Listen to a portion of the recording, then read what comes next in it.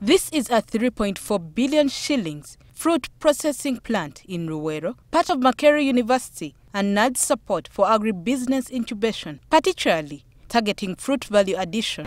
There was something that we already found here, but it was uh, the capacity was very low. They were producing less, and all whatever the farmers were producing could not be consumed by the factory. So that is when we agreed to bring equipment that would be able to take in as many fruits as possible in a single day. So when you look at this facility, it is two metric tons per hour. So the support from NAADS has taken us from a cottage fa uh, facility that can produce only little amounts of, uh, that can handle only small quantities of produce into a large facility where up to 10,000 liters of juice can be produced here in this facility.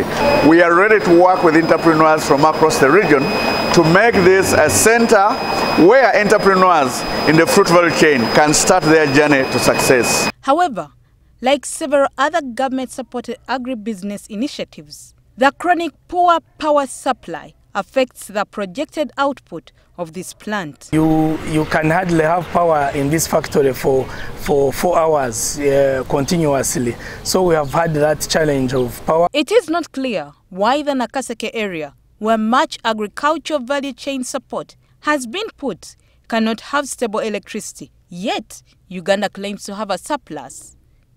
Rachel Nabisubi, NTV, Business.